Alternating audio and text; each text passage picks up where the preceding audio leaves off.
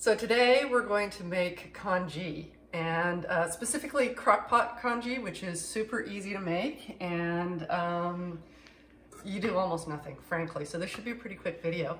We're gonna throw it all together tonight and plug it in, leave it overnight, and then in the morning we'll show you what we put in congee to make a really nice breakfast. So congee goes by some other names. Um, in English, you'll sometimes hear it referred to as rice gruel, which I gotta say is not very appetizing. A staple of the workhouses.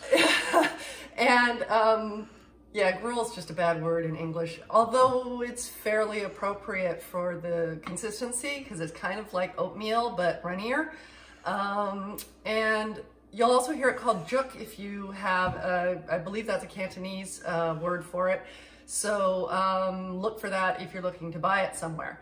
But basically it's super watered down rice turned into a lovely soupy kind of uh, food that then you add all sorts of flavorings to because the rice itself is super neutral. So you can add sesame oil and ginger and mushrooms and meat and all sorts of things. But we're gonna start by making a pretty basic uh, congee and then we'll show you, like I said, tomorrow morning, what it is we're gonna eat it with. It's a vehicle for condiments. It is a vehicle for condiments, absolutely. So um, Rob likes his thinner than I like mine. Today we're doing my version.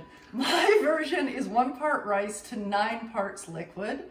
Rob's would probably be closer to 10. And if you get online, you'll see there are all sorts of variations depending on whether you're doing it in a crock pot or you're doing it on the stove. So how long it's cooking and how thin or thick you want it to be. In my um, opinion, I like it a little bit thicker and also it sets up in the fridge because you're gonna have leftovers guaranteed unless you're feeding a whole lot of people.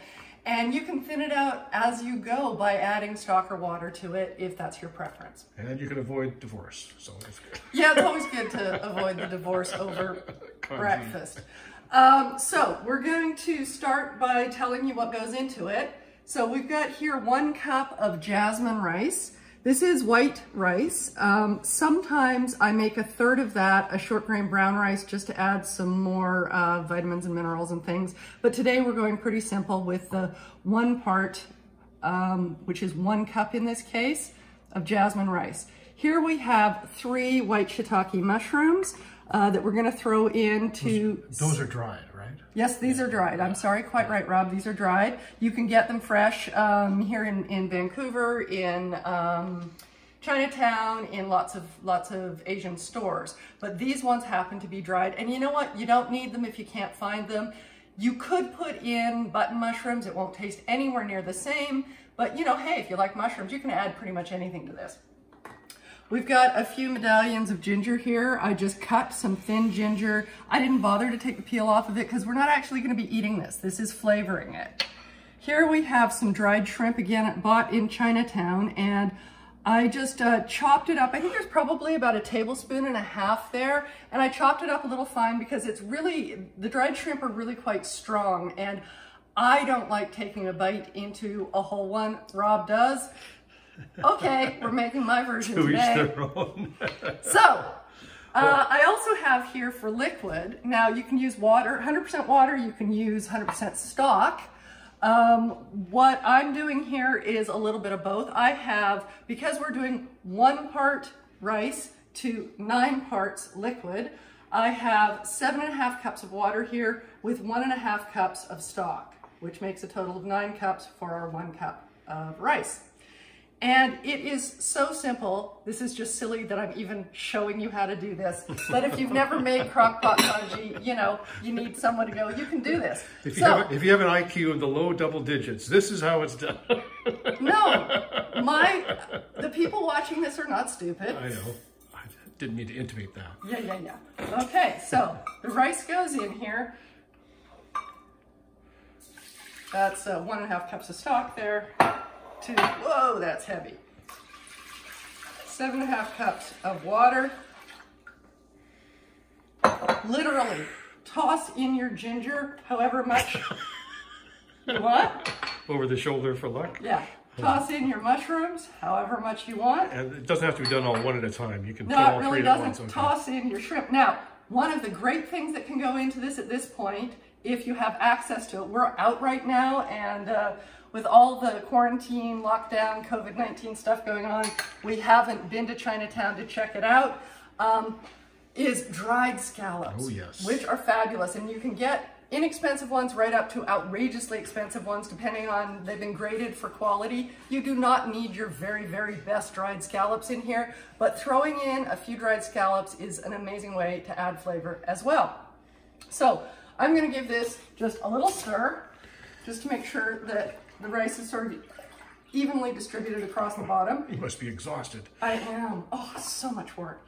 And then I'm gonna plug it in, put it on low, and leave it overnight. And then we'll come back and show you what it's like tomorrow morning and how we're gonna dress it up for breakfast. Before we do, oh. I just noticed you have a price tag on here. And I was just gonna mention that, so thanks for bringing it up, Rob. So we bought this crock pot at, I don't know if it's a Value Village or a Salvation Army. It was a thrift store. Thrift stores always have crock pots. So if you don't have a crock pot, if you don't have an Instapot, which I know are very popular right now, but uh, we already have a pressure cooker and a crock pot and, and, and, so we haven't bought an Instapot. Um, you can often get one, this one was $12.99, you can often get them for $5. They work, it's kind of amazing. So uh, there are lots of things you can do in a crock pot and it saves you, you know, keeping an eye on things on the stove. So I highly recommend you have one if you have the space in your place to store one. Um, it's a great, a great thing to have, a great appliance. Second, second question. Yeah. I have, I have a question. Um, Yes. What's what's the best congee you've ever had? The best congee, so he, he knows the answer to that, but he's, he's asking it. We were in Vietnam, we were in Hanoi specifically, and uh, the lane that we were staying on, our, our hotel was um, sort of in the middle of the lane, and at the very end of the lane, where the lane met up with the major street, was a woman who was from 5 a.m. to midnight easily, possibly longer than that, sitting there with her little tables and plastic stools and she makes huge vats of congee and basically you go and you order for a dollar or something you get a big bowl it fills you up it's warm it's tasty she put pork floss on it there were all sorts of lots of green onions lots of ginger super super tasty and there's nothing like you know sitting on a plastic stool in the street eating your breakfast um, she often, she had chili oil and white pepper and various other things to um, spice it up with. Uh, but it was great. She was a hard worker and it was hands down the best congee I've ever had. So there you go. We'll see you tomorrow when we talk about how we like to make our individual congee. Good morning. We are back with our crock pot congee. It's been cooking all night on low. And uh, before we started filming, we opened it up gave it a stir. I pulled out those slices, those medallions of ginger that were in there because we don't like to eat the whole pieces like that. And we also pulled out those shiitake, dried shiitake mushrooms that have been in there all night and uh, sliced them so that they're easier to portion into different people's bowls because a whole mushroom isn't as nice as having sliced once it's been cooked in there. So we have a bunch of condiments here. Uh, this is how Rob and I like to have it. Um, Congee can have all sorts of different condiments. We had one congee in Thailand, again, side of the road, best place to eat, um, that had uh, pork liver and a raw egg uh, cracked into it. And I think it had crispy garlic as well. That It- was really good. It was amazing, right? It was, it was a really, really good congee, but not for everybody. Um, in Taiwan and in China, I have had a preserved egg, uh, also called century egg in my congee. Again, not everybody's thing. So you'll find congee all over Asia. Sometimes it's super plain. It can have just the rice, no other things in there, rice and liquid, nothing else. And that's served to people who have been unwell and children. It's considered easy to digest and is supposed to help you get strong enough and back on your feet. Um, you can find it with an assortment of various, from very simple to kind of out there uh, foodstuffs.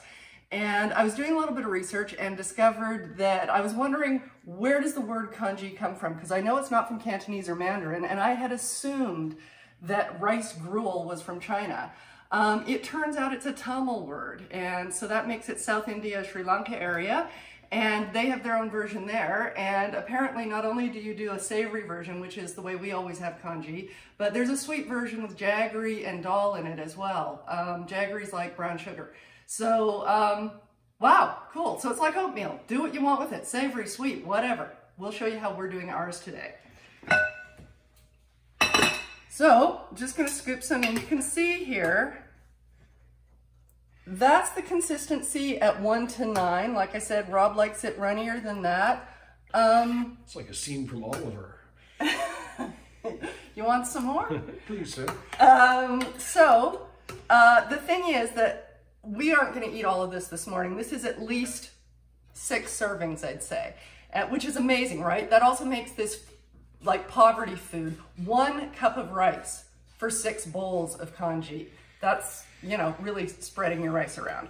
So um, when this goes into the fridge, like tomorrow, if we choose to have some for breakfast tomorrow, it's actually gonna be a lot thicker than this. So I'm just gonna scoop some congee in. And I can see those little, little flecks of dried shrimp in there, mm. which are super yummy. Then, the next thing that I'm gonna put in is green onions, which I love. Just give those a bit. So that's just a chopped green, green onion in there. And this is peeled slivered ginger that Rob did for me because he's better at it than I am. Now, here are some weirder things that you may not have heard of. This is called pork floss. I cannot tell you how it's made. It's one of the few things that I eat that I go, I really don't know how they did that. Um, I think it's cooked pork that's been dehydrated, and that really doesn't sound attractive, but it is great on congee. Like I said, we had it in our Vietnamese congee, and it is really yummy. And you can buy it at uh, Chinese stores. Um, T&T. we Osaka. yeah T&T Osaka. That's locally where we we go, but uh, Chinatown. Um, but if you find a if you have a Chinese grocery that has authentic Chinese food, um, you might might be able to get it wherever you live. And it's important to floss after every meal. Oh no, it's not. So I'm just gonna sprinkle some of that floss on there. These also, you could make these homemade. These are basically deep fried shallots called crispy shallots, again, available in a jar um, at an Asian store. And those are super yummy. They're great, yeah. And then I'm gonna put in some of those mushrooms that we, we already sliced up. Then it comes down to what other things do you want on there? So Rob is a big fan of, this is white pepper, um, just a smidge in there. The secret ingredient. And then I love sesame oil, which is what this is. Just a bit though. You don't want to go too heavy on that because it's kind That's of true. dominant. Sesame oil is a very, very strong flavor. Now, you may have noticed when we made our congee last night, when we put everything in there, there's no salt in there. So this is uh, really, really plain. I mean, yeah, there's the dried shrimp and the flavor of the mushrooms, but no salt. So that's where the soy sauce comes in. Um, again, I like a little, Rob actually likes more, but he's always liked more salt than I do. Yeah. So you do you. And then this is a homemade uh, chili oil. And I think almost everything is better with chili oil. so there, that is all my condiments. The only other thing that I wanted to say, other than how easy is that, and it's gonna be absolutely delicious. Take a look at that. Mm, oh yeah. Okay, so the only other thing that I wanted to say about this is this version has seafood in it and now pork floss. The entire thing can be vegan if that's how you eat. Um, there is no need to put anything, mushrooms and the ginger in there. Your condiments can be shallots and chili oil and pepper and sesame oil and ginger and green onions. You do not need to have the meat or the seafood in there. So it's a really practical, easy, inexpensive way to eat. And it's real food.